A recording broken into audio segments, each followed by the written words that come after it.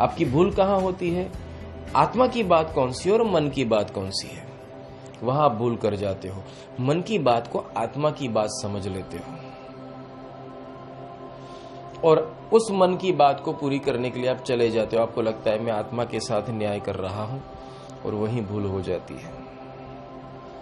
मन की परिभाषा दृढ़ता से है। आपा मेटे हरि मिले। यही एक संभव है। अगर हरि को भुला दिया, कुछ मिलता नहीं है, सब खो बैठते हो, ये भी याद रखना। सब खो बैठने का मतलब कि हम इस जगत में अगर इसके इसके ऊपर वाद विवाद करें तो ये भी संभव है कि जगत में कितने लोग नास्तिकवाद को मानते हैं, जो कुछ लोग तो मेजोरिटी वही लोग हैं जो ईश्वर को मानते तक नहीं है। कुछ लोग ऐसे जो कर्म की थियरी को ही मानते हैं और अन्य किसी थियरी को न्याय देते नहीं है।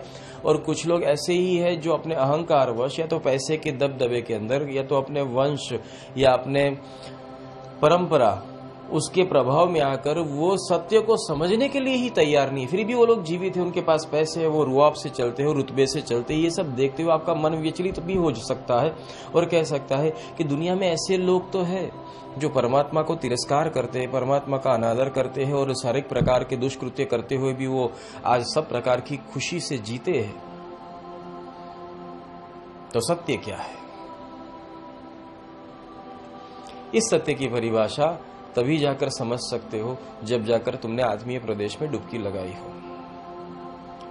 इसे मायाजाल कही जाती है जिसको कहा जाता है कि जिस व्यक्ति को और भी इस मायाजाल में फंसाना होता है उसको और विभिन्न प्रकार के सुख विभिन्न प्रकार के पद विभिन्न प्रकार के आ, की आनंद पद अवस्थाएँ दी जाती है जिसको कहा जाता है मौज मज़ा। जिस व्यक्ति के अंदर बहुत ही याद रखना, ये कान खोलकर सुनना, जिस व्यक्ति, जो व्यक्ति बहुत होनहार है, एक, जो व्यक्ति काबिल तारीफ़ है, दो, जिस व्यक्ति के अंदर हुनर है, तीन, जिस, जो व्यक्ति के अंदर संकल्प सिद्धि पूरी करने की क्षमता है, जो व्यक्ति गोल अचीवमेंट कर सकता है, जो व्यक्ति के अंदर परमात्मा की खोज है, जिस व्यक्ति, जो व्यक्ति सामर्थ्यवान है, जो व्यक्ति का तर्क उत्तम है। जिस व्यक्ति के अंदर अप्रतिम जिज्ञासा है, ऐसे गुणधर्म वाले व्यक्ति को काल पुरुष करता क्या है? उसको दूसरी दुनिया में भेज देता है, जिसको कहा जाता है फसाना। वो व्यक्ति अगर फ्री हुआ तो ही परमात्मा की खोज करेगा। तकलीफ़ में आया तो ही परमात्मा की खोज करेगा। तो उसको इस प्रकार के मौज मज़ाक के अंदर तरबदर रखो, इस प्रकार के आनंद के अंदर बस हर रोज इस माया के नशे में रखो कि बस वो उसमें ही रचा पचा रहे।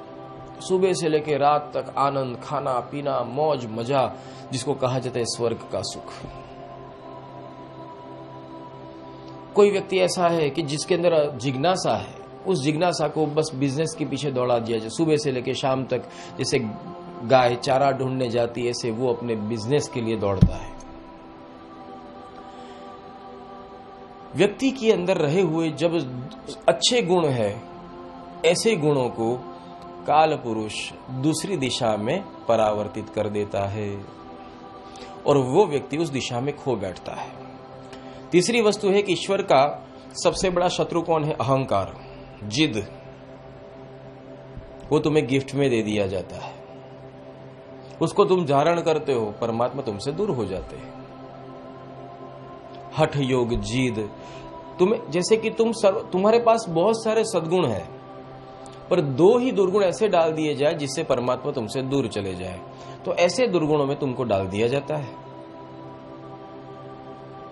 जिसके कारण तुम परमात्मा के मिलन से वंचित रहते हो। जैसे कि कोई व्यक्ति को देखना बहुत सेंसिटिव होता है, उसको बार बार बुरा लग जाता है। ऐसे, कुछ व्यक्ति ऐसे होते हैं जो उनको बार बार छोटी छोटी बातों में बुरा लग जाता है। तो ऐसे व्यक्तियों को बस थोड़ी सी बात में बुरा लग जाए, परमात्मा का रास्ता वो छोड़ देता है। तब करने बैठा, परमात्मा नहीं मिले, परमात्मा को भूल जाओ। एक मंदिर से दूसरे मंदिर दूसरे मंदिर से तीसरे मंदिर, एक क्रिया से दूसरी क्रिया, तीसरे, चौथी क्रिया, एक धर्म से दूसरे धर्म। वहाँ उस व्यक्ति ने यह ना ढूंढा कि दोष मेरे अंदर है। वो तो आज भी आदि में भी वहीं ही ये मौजूद था, आज भी, वर्तमान में भी वहीं मौजूद है और कल भी वो वहीं रहेगा। प्रॉब्लम मेरी है। मैं युगो युगो से जन्म लेता या फिर भी मैं उसको एक जगह जहाँ वो प्रत्यक्ष है, चारों ओर भरपूर है, फिर भी उसको पा ना सका। तो मैं कैसा? ये सोचने का संविधान तुम्हारे अंदर नहीं प्रकट होता है।